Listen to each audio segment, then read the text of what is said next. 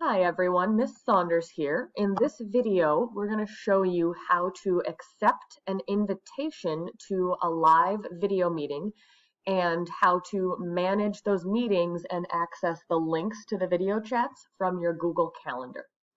So right now we're in my email inbox, my Gmail inbox, and you can see I have an invitation to a science department meeting. All right, now there's two ways we can go about doing this. If you hover over the email, you can see this little box here that says RSVP.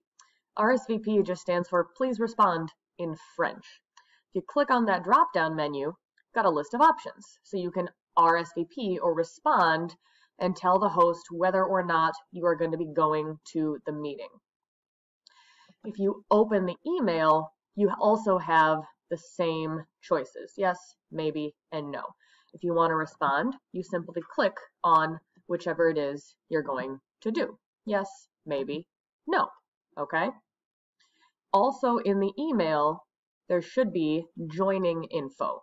And this link right here is what you would click to join that meeting when it's time for that meeting. Obviously, since it's not time for the meeting, we're not going to go to the meeting yet. So that's how you can RSVP from your email. But if you look at my inbox, you can see there's a lot of stuff. I got a lot of emails. I don't want to have to find this email on Monday at 3 p.m. So what I'm going to do instead is this little uh, tile grid here. These are all the Google apps. If you click on that, we're going to look for the calendar. So here's the Google Calendar.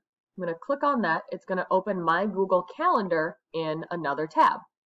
And now we can see all the stuff that Miss Saunders has going on this week, including this science department meeting. Now, I've changed my mind.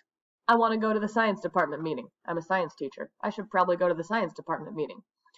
So right now, this box is white or transparent. It's not filled in with color. That means that I'm not going to it.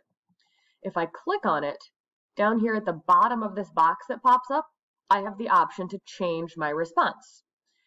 When I click on yes, the box fills in with color. That means I've accepted the meeting, I am going, and that time is now blocked off. And I can see on my schedule on Monday, September 21st, that I have a science department meeting from 3 to 4. That's really useful so you can see when things overlap like this meeting here overlaps with this living environment class. So that's a meeting I wouldn't be able to go to if I were invited to it. You can also use your calendar to access the meetings when it's time to go to them. So I just clicked on the box or the little block for the science department meeting, and all I would have to do is click the Join with Google Meet button. And that would again open in a new tab the box that you would need or the window that you would need to join the meeting. And that's that. Email me if you have any questions.